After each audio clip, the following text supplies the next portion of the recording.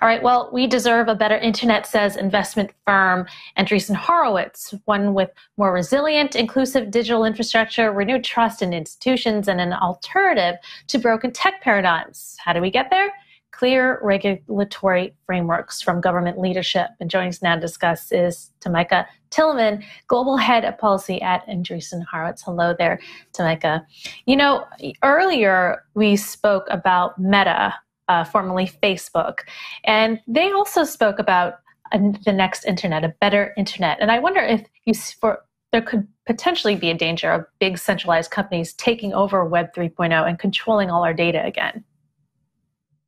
Well, that is one of the issues that we're trying to address with the policy framework that we have put forward. We see a, a, real critical challenge in the form of the Web 2 platforms that have consolidated a lot of the internet under their control. Uh, if you look back at the broad history of the evolution of the web, we had the first generation of the internet, which was really based on open protocols and largely decentralized. And then this period of massive centralization that occurred in Web 2. We're now seeing a lot of the negative fallout from that period of centralization. And we think it is time to move on to the third generation of the internet, which will be defined by more open protocols. But for the first time, as a result of the advances that have been made uh, in digital assets, we have business models that can support community owned, community governed platforms in a way that we really weren't able to in the first generation of the internet. That is a huge opportunity to get things right if we get good support from policymakers.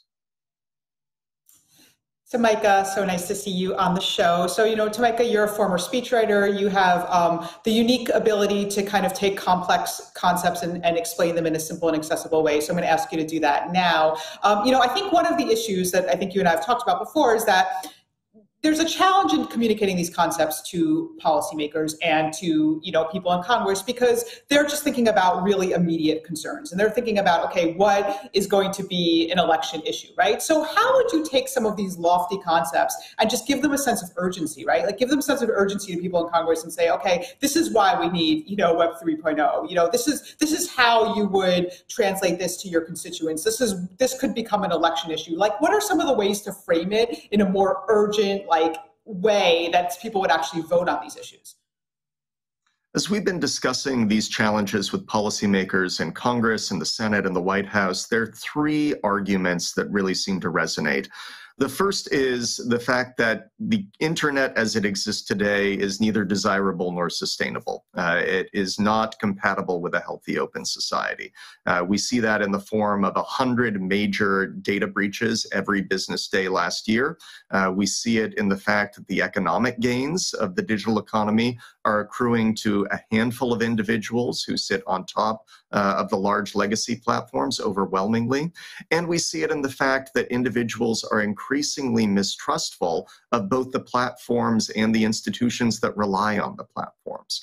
So we see a, a big opportunity to create a decentralized internet that will give individuals greater control over their digital identity, greater control over their information, greater control over their assets. We see a critical need for open societies in general, and the United States in particular, to develop a system that can compete, a paradigm that will be able to compete effectively with others in the world that are rolling out increasingly sophisticated platforms that are far advanced uh, and really far uh, superior technically uh, to the digital infrastructure that's available in the United States. And we also see an opportunity to decentralize the opportunity that exists around the digital economy, eliminating middlemen, eliminating many of the gatekeepers that control access to participation in the global economy today, and pushing out many of the benefits to those who are currently on the margins uh, of the progress that has occurred in many spaces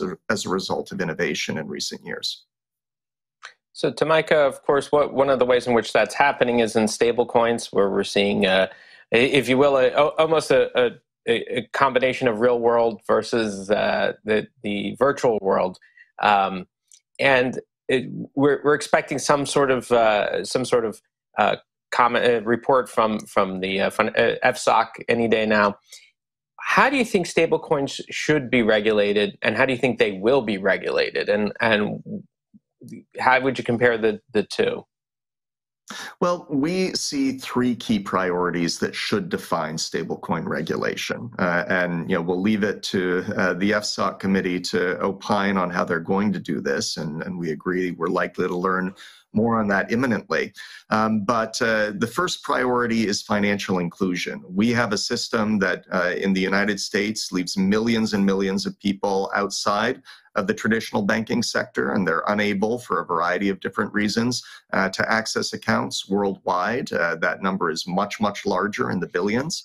Uh, and so we need to be able to design a system that is going to provide more people access uh, to digital financial services. Uh, the second thing we need to be able to do is ensure the integrity of stablecoin issuers and reserves. Uh, it's absolutely appropriate for regulators, in our view, to take an interest uh, in assuring the uh, integrity and solidity of the assets that underpin asset-backed stablecoins. There are, of course, a variety of different stablecoins. Uh, some stablecoins, like USDC, have issued regular attestations by independent accounting firms to ensure uh, that their assets match up with what they uh, are claiming. Uh, we think that's a best practice that should be widely adopted across the ecosystem. Uh, and in our view, there are probably some, some legitimate uh, interests that regulators have in ensuring that stablecoins are managed and run uh, correctly. Uh, the final critical task, in our view, is ensuring the technical resilience of stablecoin networks. These are going to be critical infrastructure for the 21st century. We are going to rely on stablecoins and the networks that underpin them to power a lot of the internet's native digital financial architecture. Uh, and for that reason, it's totally legitimate to ensure uh, that the technical systems at the foundation of these platforms uh, are run correctly. Um, we think that if regulators focus on those three areas, and we put out an extensive paper uh, with more details about our views on these issues, uh, we should end up in a decent place. So, Mike, if you just had to sort of pick right now, do you think that the United States needs a central bank digital currency? Yes or no? Obviously, there's a lot of you know caveats in there, but uh, on balance, do you think this is would be a good thing for the U.S. or not? Well, I think the obvious and immediate opportunity for the United States is doubling down on the very vibrant innovation that's occurring in private stablecoin markets. Uh, we, given the uh, significant lag uh, in U.S. policymakers' uh, focus on these issues, uh, and the fact that many countries are far ahead of the United States uh, in trying to address these challenges, uh, we're not going to be able to catch up anytime soon if we try to pursue a centralized CBDC based approach. There may in time be plenty of room for a CBDC alongside privately issued stablecoins, but we think it's absolutely critical to preserve the dynamism and vitality of a thoughtfully regulated private, private stablecoin market uh, in, in the near term and medium term going forward. Micah, what are some of the consequences if the U- U.S. does not address this uh, in a more timely manner? Well, the United States has long enjoyed a role at the as the cornerstone of the global financial system. The, the dollar has been uh, the centerpiece of the global financial system. We are seeing the emergence of a wide array of financial instruments that are technically superior to the dollar. Uh, they're dramatically more sophisticated, they're dramatically more usable in a variety of different applications uh, than the dollar is today. Uh, there is a very real risk for policymakers that if we don't come up uh, with good solutions, uh, be they privately issued dollar backed and dollar denominated uh, stablecoins, uh, or potentially a, CBDC that is dollar denominated down the road, the United States and the US dollar will lose the position that they've historically enjoyed as a cornerstone of global financial markets. And that'll have some very serious implications, not only for the US economy, uh, but for US leadership and influence in the world. So this is a, a very high stakes issue. it's good that policymakers are finally paying attention, but it's important for all of us to acknowledge that they're coming late to the game.